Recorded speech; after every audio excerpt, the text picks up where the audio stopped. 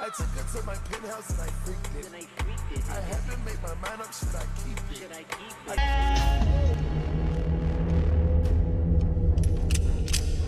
And a Jefferson County grand jury has indicted Chelsea Ship and Cody Arnold for first degree murder in connection to the death of a 16 year old girl. Chelsea Ann Marie Ship lived a life like that of many other young women her age, establishing her presence on social media and seeking engagement. However, her popularity took a steep turn when Chelsea went from being an influencer to becoming America's most wanted. This is the TikToker who murdered a child for her jealous pedophile boyfriend. Chelsea Ann Marie Ship was a 25 year old who began her TikTok career in February 2020 by posting small, creative videos that showcased her personal life. Like so many other influencers, Chelsea aimed to engage her followers and perhaps even go viral on her social media platform. She started by sharing heartfelt clips of her dog to attract attention. This my baby. And ain't nobody finna touch him.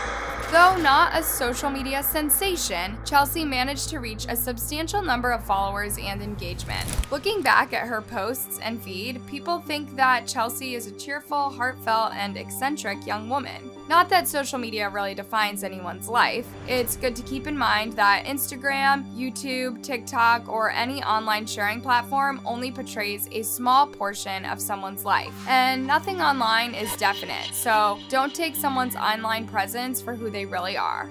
Anyway, back to Chelsea Ship. So, how did this supposedly lively person become a murderer? This isn't an exact timeline of how this tragedy unfolded, leading to the death of a 16 year old girl, but there is enough evidence that led investigators to believe Chelsea Ship was the killer. Well, it all begins with a love triangle involving three main characters. The first person is our TikToker, Chelsea Ship, and the second is a 22 year old guy by the name of Cody Lee Arnold. And the last person is the victim, Caitlin Nicole Stone. As you may know, there are many different types of love triangle tropes. There's the traditional love triangle, basically the classic form involving three people where one person is torn between two romantic interests. So imagine Twilight, where Bella is split between Edward and Jacob. Then there's the unrequited love triangle. In this scenario, one person loves another who loves a third. The first person's feelings are not reciprocated, creating a triangle of unrequited love. Everyone has a crush on everyone, but no one says anything and everyone ends up single. Finally, the polyamorous love triangle. In this case, all three individuals are aware of and consenting to the romantic relationships, forming a polyamorous dynamic, which may sound a little weird, but it's alright as long as all parties are consensual and legal.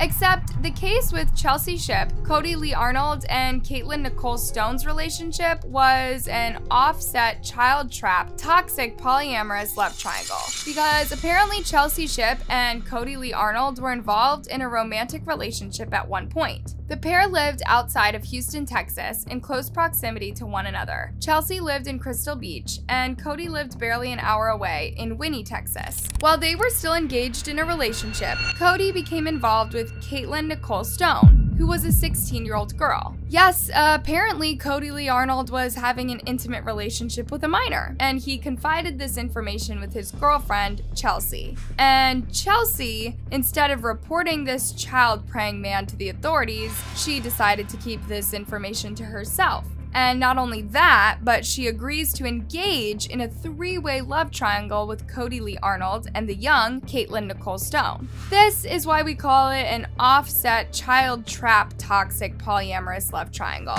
Because a 22 year old man was going after a vulnerable 16 year old girl, and his 25 year old girlfriend did not report it, and instead she joins them in a disastrous three way relationship. These two are partaking in lewd acts and taking advantage of young Caitlin. And no one knew of this bizarre relationship that Chelsea was taking part in, not even her family and friends, and definitely not her TikTok audience. Also, it is reported that although these three people were engaged in this love triangle, there's no evidence to show that Chelsea is said to have not had any intimate interaction with Caitlin. So the two ladies are mostly involved with Cody It's a Cody centric relationship, if any of you are wondering. This guy sounds like bad news already. Cody Arnold, when he was 17 years old, he was actually charged with criminal mischief for keying a car. It's also been speculated online that he may have been in a relationship with the 16 year old victim, which you and I know would be an illegal relationship.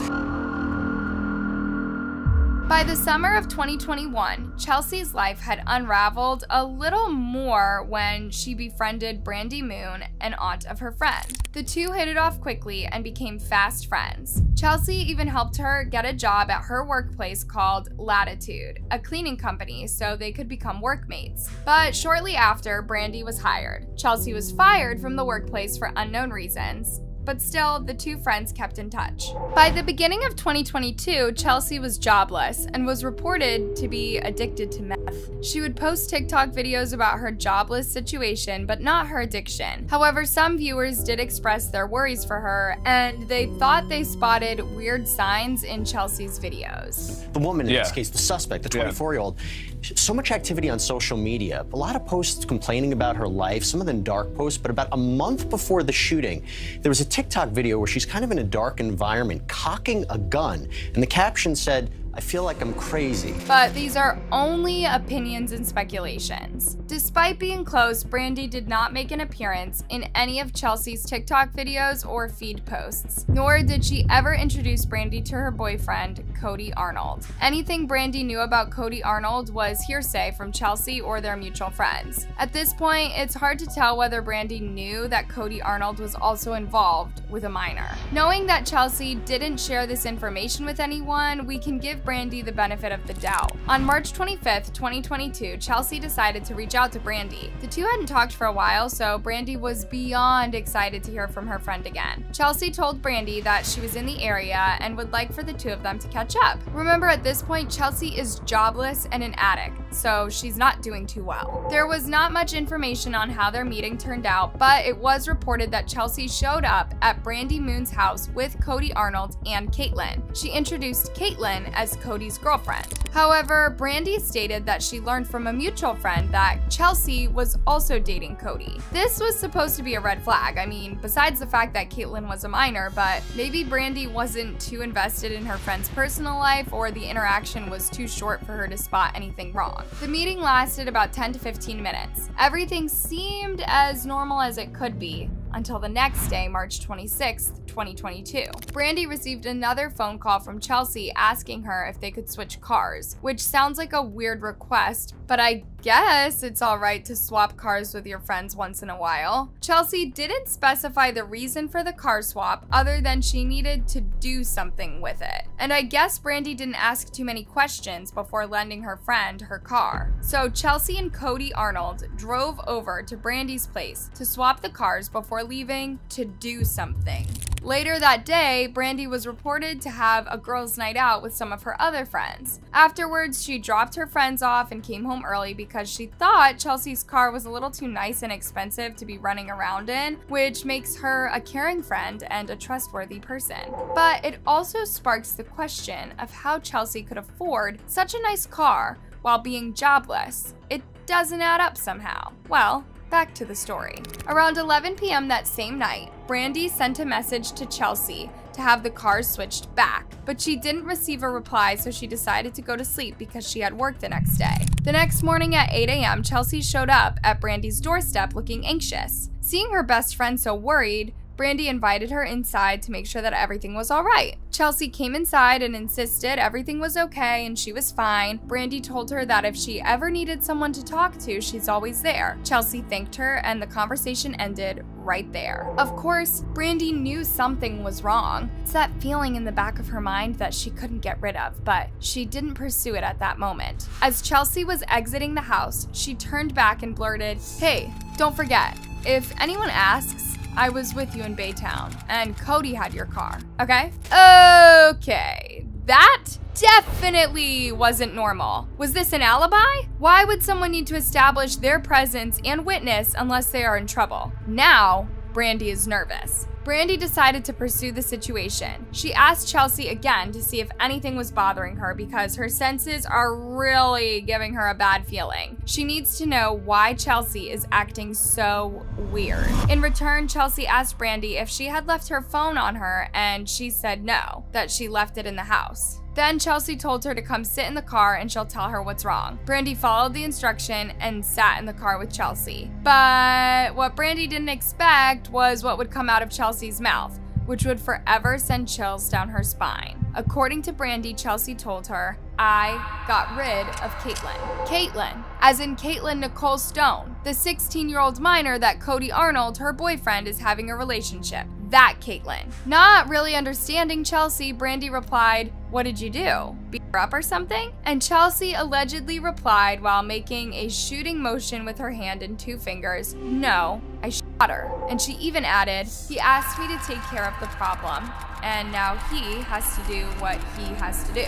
Brandy is beyond frightened and bewildered by this revelation. Her friend has just confessed to and possibly killing a 16 year old girl. Unsettled by Chelsea's confession, Brandy pretended to act normal in front of her friend, but she was deeply worried. She felt the need to report what she had learned because there was a possibility that her car was involved in a homicide. It cannot be a coincidence for Chelsea to borrow her car on the same day she gunned someone down. If that's true, Brandy could get into a lot of trouble, so she decided to call her father in law, Brad Moon. It's an awkward call to make. Imagine having to relate that your best friend had possibly committed murder and your car was involved in the crime, but that you had nothing to do with it. Hopefully, Brandy makes better friends in the future. Anyway, Brad Moon, Brandy's father in law, passed on this information to law enforcement, and officers began their investigation. The first place they stopped by was Brandy's home to take her statement, and she gave them every piece of information she knew.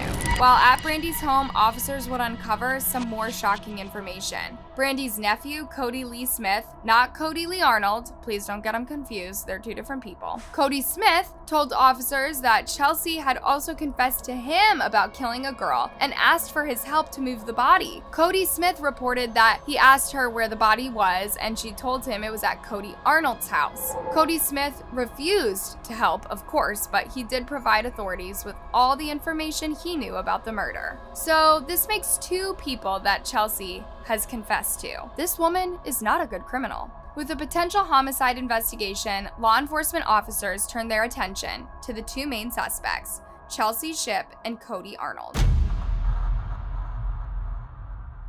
On March 27, 2022, officers came to Cody Arnold's home and asked if they could look around, and Arnold's agreed. Within minutes of the search, the officers located the lifeless body of Caitlin Stone on Cody's bed. She was wrapped in a duvet and covered in a black bin liner with evidence of a gunshot wound. The officers immediately arrested Cody Arnold on suspicion of murder, but Cody claimed he had done nothing wrong. He began telling investigators his side of the story and switched the blame entirely onto Chelsea. Cody Arnold claimed that on the day of the incident, he had been hanging out with Chelsea and Caitlyn and using then, they started arguing over his relationship with Caitlyn, since he was 22 and Caitlyn was 16. In the midst of the argument, Cody said he told Chelsea that Caitlyn could be pregnant because a home pregnancy test had turned positive. He was afraid he would get into trouble with the law because Caitlyn was a minor. Cody believed that the revelation might have upset Chelsea, either because she was jealous of Cody and Caitlyn's relationship or because she didn't want Cody to get in trouble. Whatever it is, Cody claimed she she had the motive. So when he stepped out of his bedroom to use the restroom, Chelsea took a gun and fired at Caitlyn. He claimed he covered her in a bed liner because he couldn't look at her. And that is Cody's version of how everything happened. It was all Chelsea's doing. Though he couldn't explain why there was a trash bin large enough to place a body inside sitting in his bedroom. This was enough evidence for them to charge him with murder. On the other hand, Chelsea decided to try to escape. They released these photos of Ship, who deputies describe as armed and dangerous, and now on the run. And take a look closely at her tattoos, like this one on her upper arm.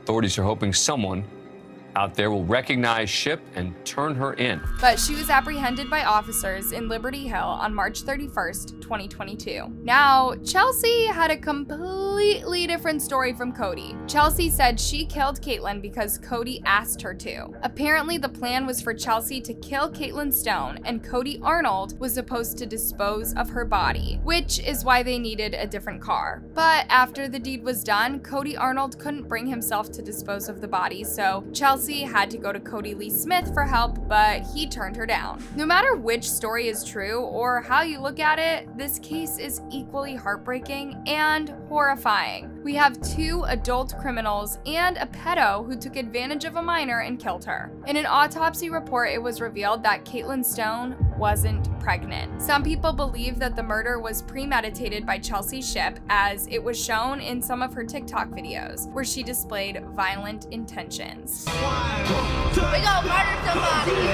For whatever reason, this homicide took place. It wasn't supposed to happen. Both Chelsea Ship and Cody Arnold are facing murder charges and are being held at Jefferson County Jail on $1 million bonds. It was a tragedy, and we offer condolences to Caitlyn Stone's family. And for families with minors, we pray for safety and well being of your loved ones. Please be aware and be careful of those who are willing to harm and take advantage of your young ones. May Caitlyn Stone rest in peace. Do you think what Chelsea Ship did was out of love or envy? If you have a similar story to share with us, please feel free to do so. And please don't forget to like, subscribe, and ring the bell for notifications.